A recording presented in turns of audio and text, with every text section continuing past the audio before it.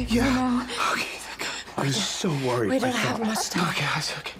I was so worried. I thought that you. Ruby. Who wants They her? want. They want her. I, I don't know what for. Okay, I, don't- I don't I can- understand. I can explain you, but you have to trust me. Okay, okay. Who, who wants Ruby?